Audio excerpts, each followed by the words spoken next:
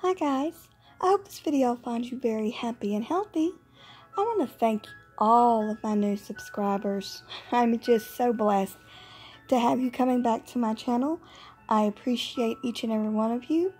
And once again, thank you from the bottom of my heart for subscribing to me. Today's book is Llewellyn's Little Book of Halloween by Mickie Mueller. This book came in over the weekend. Thought it would be a great little read you know, for the next couple of days leading up to the big day, Samhain or Halloween. And I am enjoying the Llewellyn's Little Book series. I have quite a few of them on my wish list.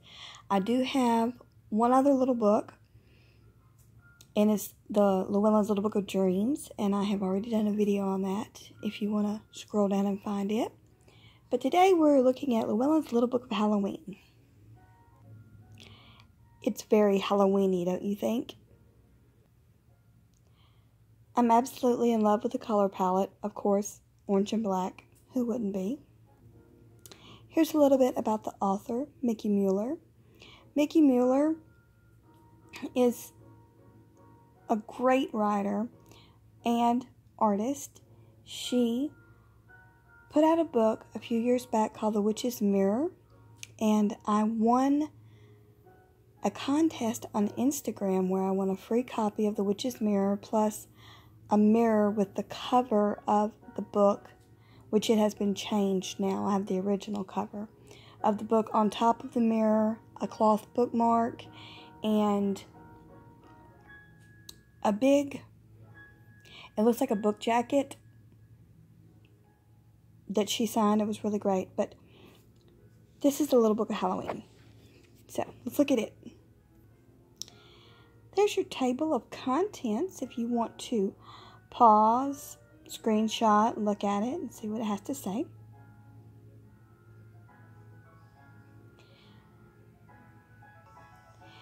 In this book, she also includes exercises that you can do to make your Halloween or Samhain more intimate and special to you and or your family and friends. There's a second list of exercises. Oh, just do this.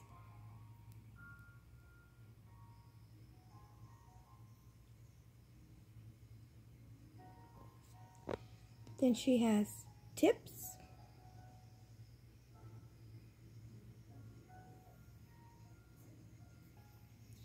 Now we're to the introduction, which was absolutely adorable. I read the introduction it was discussing her life when she was trick or treating growing up in the 70s. I can sort of relate to that as I was raised in a very Southern Baptist home. We were not allowed to trick or treat, but we did go to Halloween carnivals or Halloween parties, haunted houses, what have you, that the church did. So that was my trick or treating, I guess you would say. Later on in life, I went trick or treating with my daughter, and it was awesome. this particular page, I love it. As scared as we were, it was fun to face our fear. The rush we got from overcoming that fear was empowering, like we had looked into the actual realm of spirits and faced a real danger coming out triumphant. I just loved that. Thought it was great. Imagine my surprise when I discovered that Samhain began at sundown. I discovered that ancient Celts and modern witches honored their ancestors and beloved dead on this night, and that even in ancient times people wore masks and strange clothing to confuse any harmful traveling spirits. Here we have Halloween throughout history.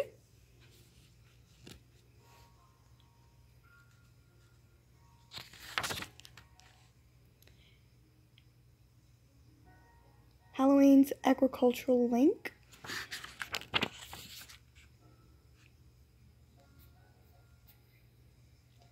Festivals for the beloved dead. The first jack-o'-lanterns. Guy Fawkes. I believe they did mention this also in the Llewellyn Sabbath Essentials for Samhain. A New World.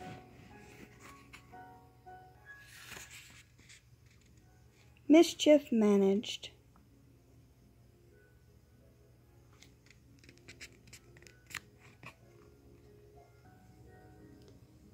This is an example of tip 1.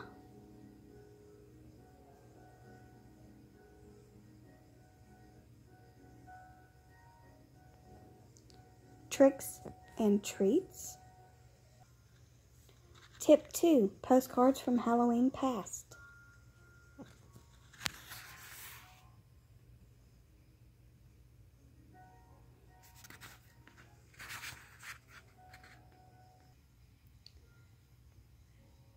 rediscovering Samhain. Next, we move on to creating a haunting atmosphere. This is so cute. It's don't dust away your cobwebs. Keep them so you don't have to put up fake ones. I love it. Here's another tip Halloween on a shoestring. Halloween decor things.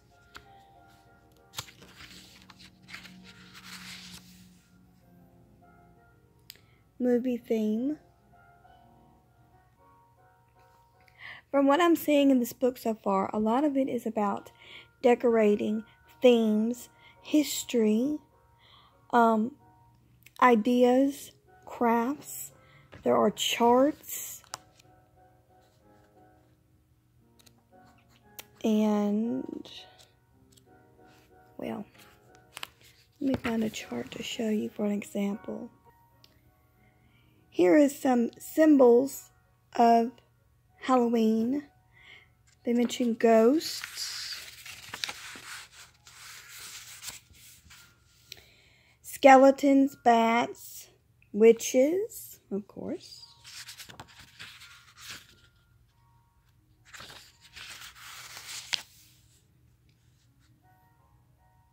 Black cats, owls, cauldrons, the basics. She also mentions scarecrows, ravens, and crows. Of course, these are, of course, signs of Halloween and um, associated with, and jack o' lanterns. And here is a tip about pumpkin seeds. Here is an example of an exercise. This is Pumpkin Carving 101. I'll show you what that looks like. In this particular section, she was discussing witches' herbs bottles. Oh my. Witches' herb bottles. And this is an example of a chart that she has. Kitchen herbs. They're, I can't read it through the camera. Kitchen herbs, the old witch names. We'll zoom in, silly. And their botanical names. And there's a few charts like this throughout the book. Oh, how funny.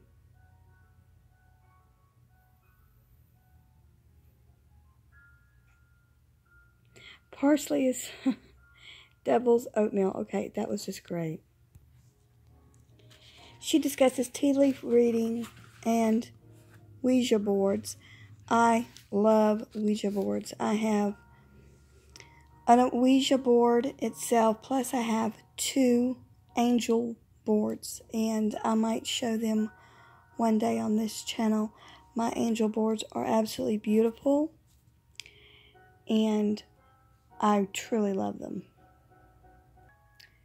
Here's an example of a spell apple eating spells.